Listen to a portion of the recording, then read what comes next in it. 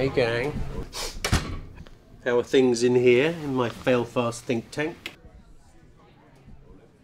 I just got a brand new tablet. Came out yesterday. The Slate. totally analog with digital chalk. Jemima, hit me. How are things going with that fail fast app? Pixel Face. We launched yesterday.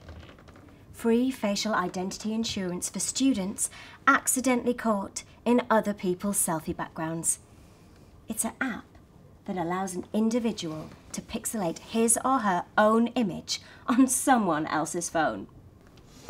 It's genius. And the best thing about it, it can't be done. It's impossible to do. The scheme was ideated in the morning, and by the afternoon, it was a complete failure. Success. And how often can this be iterated? Constantly. Until Pixel Face becomes a reality, it can't fail but fail. Awesome. Yay for failure.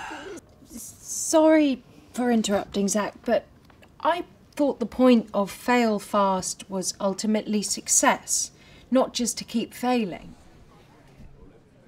I could be wrong. Molly, you are wrong. Right.